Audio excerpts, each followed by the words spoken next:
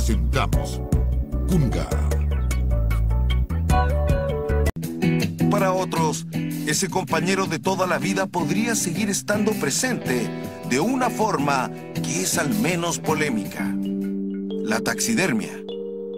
Miguel de la Fuente perpetúa mascotas y otras especies desde los 16 años.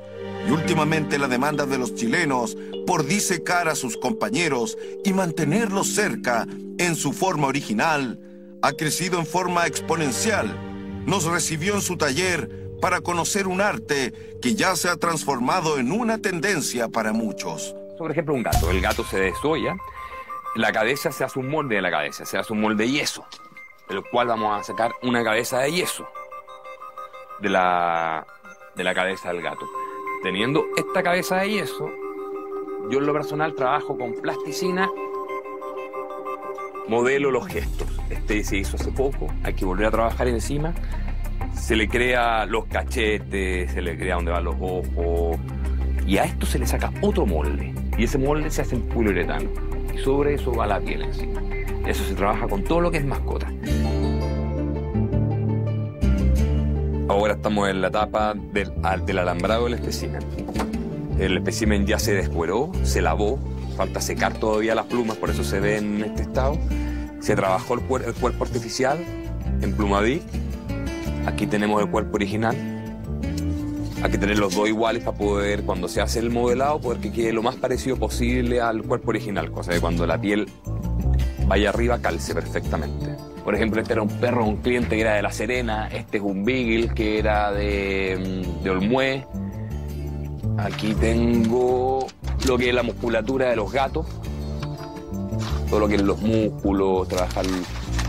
Son puras fotos de referencia y lograr que sea su perro. Normalmente, por no decir el 100% de los, de los clientes que van a dejar mascota, ellos aman a su mascota, la, la aman, es como su niño y tienen un apego tan grande con ellos que quieren conservarlo. Y yo les puedo dar la opción de poder conservar a su mascota y que puedan seguir estando junto a ellos.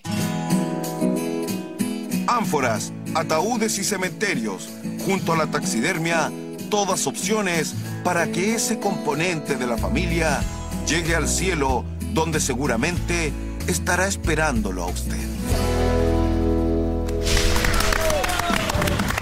Extraordinaria nota, Carlos Pérez, te pasaste, de verdad que hay cosas que realmente uno se, nos explica que existan. Y justamente estamos con el taxidermista que es de profesión diseñador gráfico. Eh, está con nosotros Miguel Ángel. Miguel Ángel, cuéntame un poco de dónde nació esta afición por, el, por la taxidermia.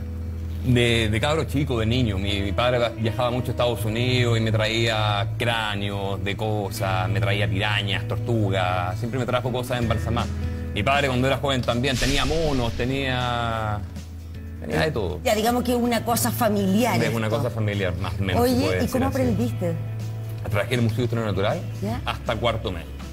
Y después con la universidad tuve que dejar un poco el tema y trabajé cinco meses en México. ¿Qué es lo mejor y lo peor de ser taxidermista? taxidermista. En en la parte, digamos, para muchas personas la parte desagradable es como la primera fase de la taxidermia, que es el desollado y el tratamiento de la piel, digámoslo así. Y la parte bonita es el montaje. Lograr, por ejemplo, en el caso de las mascotas, que sea su mascota. Porque yo siempre dejo súper claro que voy a hacer un, un- un perrito. Lo ideal que sea lo más parecido al suyo. No siempre se logra, porque no, es fácil, todo- no es no fácil. todos los perros, no todos los pastores alemanes son iguales. Miguel, ¿y es un, un proceso largo? ¿Dura mucho? Es largo, Un sí. perrito, por ejemplo, Yo me ¿cuánto te demoro entre demoras? 3 y 4 meses, más o menos. Por una pieza. Una pieza, Y una sí. persona que quiere hacer eso, porque aquí atrás vemos un perrito, después nos puedes contar la historia, pero ¿cuánto cuesta que un cliente te lleve su perro eh, y tú le haces la taxidermia? Hasta que se lo entregas, digamos. ¿Cu- ¿Cuánto vale un perro como ese? El perro mediano, o sea, pequeño, sale 2.50. Veámoslo, mira, ven. Porque este perro, yo nunca había visto un perro embalsamado. Sí, todo lo demás sí. Pero tampoco, un perro ¿vale? embalsamado, ponte por acá, Miguel Ángel. Nunca lo había visto. ¿Esto, esto tiene alguna historia especial? ¿Son, ¿Es tuyo? ¿Era tuyo? No, no, no, este es un perro es de un cliente. De hecho, yo tuve que hablar con él y contarle si no le molestaba poder traer a su mascota.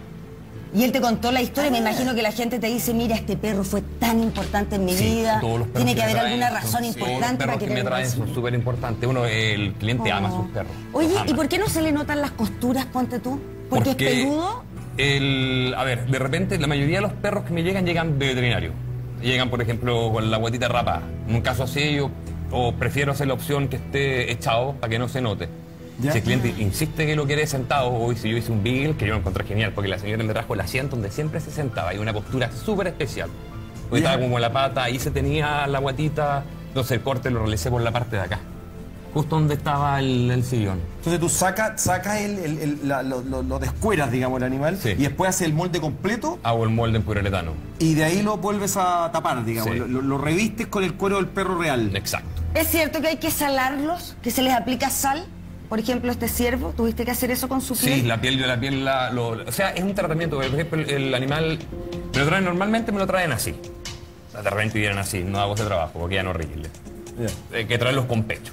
perfecto. Y la piel, el animal se abre de aquí atrás y la piel se le dan vuelta las orejas, se le dan vuelta los labios, la parte interna y se sala. Se deja salado una ¿Cuánto, semana. cuánto te demoraste, Miguel Ángel, en hacer ese ciervo? Lo hicieron, me demoré tres meses. Más o menos mismo proceso para todo, porque son, es un mes en la curtiembre. Aquí tengo una pregunta, porque ¿cómo lo hacís con los, con los cachos? Porque sacáis el cuero y desprenden los cachos del cráneo, porque están unidos al cráneo. los cachos. casco. Ah, el casco lo... Está el casco. Está- está el hueso Está la aquí. parte superior, sí. solamente la parte Ah, superior. buena. ¿Sabes lo que me llama la atención a mí? Que uno asocia la taxidermia, eh, sobre todo para los museos, ¿cierto? Sí. Porque uno quiere preservar eh, el animal para que otros conozcan y aprendan de él. Pero la nota, Carlos Ratón Pérez, tú decías ahí que ha aumentado en Chile la gente que lleva mascotas. ¿Es tan así? Así es, lo puede 90%. comprobar con el, con el mismo Miguel, que nos dejó clarito que tiene más pega gracias a ¿Cuáles son los animales más raros que te han llegado? Aparte de Carlos Pérez, digamos, cuando Ah, te de- fue a visitar. Aquí en Chile, bueno, por ejemplo, el caso del cóndor, el cóndor viene del Windsor. Este. Sí, es una hembra, de yo- hecho. eso te iba- justamente iba a es hacer una esa- hembra esa- y el una color, hembra de de ojo, cóndor. el, col- el color del ojo es rojo, porque el macho y, el- y la hembra de cóndor, los colores son distintos. Y además que la hembra no tiene cresta. Sí, no tiene cresta. Ay, Estoy a punto de, de hacer una réplica de una cresta y ponérsela. La, la hembra es rojo y el macho... Oscuro, café. Oscuro, casi oscuro, casi negro. y es un detalle que aquí. Lo... Los machos tienen una cresta que arriba igual que Condorito. Sí. Condorito La tiene una cresta, cresta es un macho. ¿Y este proceso se tiene que hacer inmediatamente muerto el animal? ¿Tiene Ideal que es haber se pasado poco tiempo? Ideal es que se congele. O sea, se muere el animal y 24 horas antes que me lo traigan.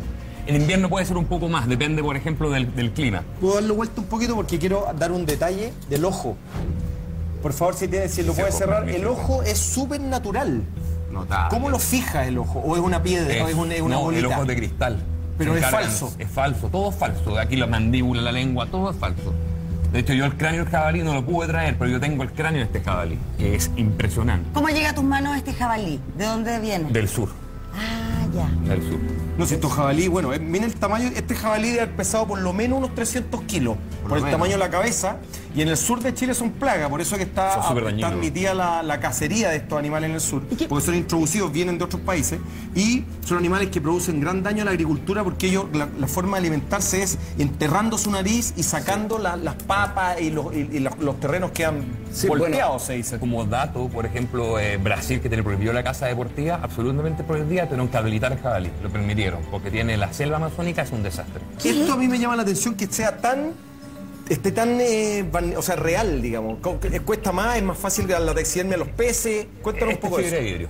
Es una copia del original. ah es una réplica Es una réplica, ah, ok. sí. Esta es una réplica. Se Este es un puede salmón, hacer ¿no? los salmones chinook. Sí. Ya, un chinook. Se puede hacer los salmones de piel. De hecho, eh, los clientes, el 90% los quiere de piel.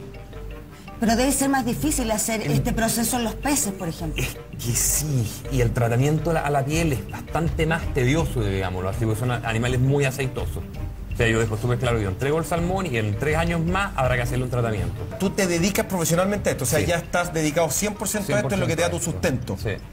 qué increíble ¿eh? Mira, 100% y, esto, y hay 90% mercado, son mascotas. lo import- hay mercado en nuestro país entonces, porque cuánta gente se va a entusiasmar y va a decir no sabía que existía Sí, esto. un Yo pensé que no, perrito. Que no era una buena idea en nuestro país El hacer esto. 90% son mascotas. Sí, por mira. ejemplo, ciervos muy poco, jabalí súper poco y aves poco más, digamos así. Es infeccioso esto, tú lo entregas, la persona tiene que desinfectar, se meten pulgas, No, el cuidado bichos. básico es septiembre, la, en la época de las polillas, una bolita de naftalina debajo de las patas y sería. Idealmente yo la opción de ideales es dejarlo dentro de una caja de vidrio. Ah, claro, para que no alejado del polvo, porque en realidad si todo el día estáis haciendo así, obviamente... Y lo que me enseñaste también, una bolita de nafta. Y yo no lo escuché, estoy Lo que clarito. acaba de decir, gracias Carlos Pérez. Extraordinario, Miguel de la Fuente. Oye, ya que tenemos un jabalí acá, Carlos ¿Te vas Ratón Pérez, te queremos pedir que te Sí, despidas como un jabalí. con el último grito de este jabalí que me quedó también eh, grabado. ¿Cuál es la cámara de. Carlos? Ahí, esa. Ahí. Se pasó, se pasó. Grande Carlos. Gracias, Miguel. Muchas Miguel. gracias. Pasaste un millón. Que te vaya bien. ¿Cómo aprendemos? Qué curioso ha estado este capítulo de Sergio Sebastián. Hoy hemos aprendido, nos hemos sorprendido.